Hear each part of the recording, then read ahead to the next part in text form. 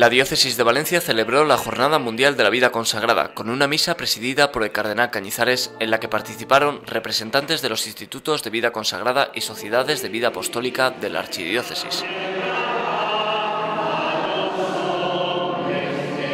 La celebración comenzó con la bendición de las candelas encendidas y la procesión de entrada a la parroquia de Nuestra Señora de Carmen de Valencia.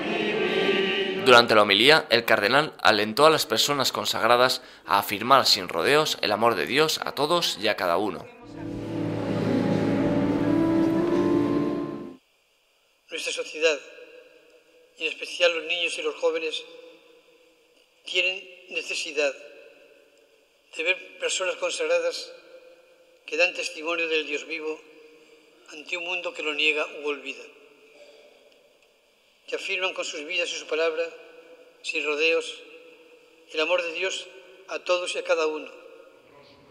Al término de la Eucaristía, el cardenal anunció la creación de un Consejo Diocesano de Vida Consagrada.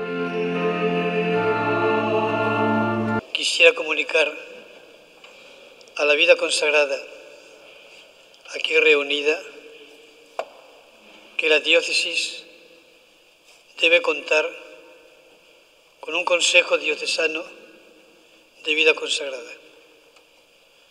Tiene el Consejo del Presbiterio, pronto se va a constituir el Consejo Diocesano de Laicos, debe haber también un Consejo de Vida Consagrada.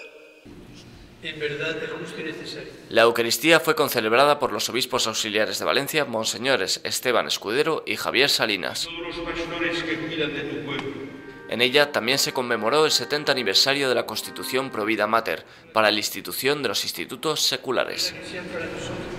En la actualidad, la Archidiócesis de Valencia cuenta con más de 4.600 consagrados, entre ellos cerca de 700 religiosos y más de 3.900 religiosas, además de miembros de institutos seculares y de sociedades de vida apostólica. Durante la jornada todos los consagrados renovaron sus compromisos religiosos y apostólicos en el transcurso de las misas que se celebraron en conventos, monasterios y comunidades religiosas.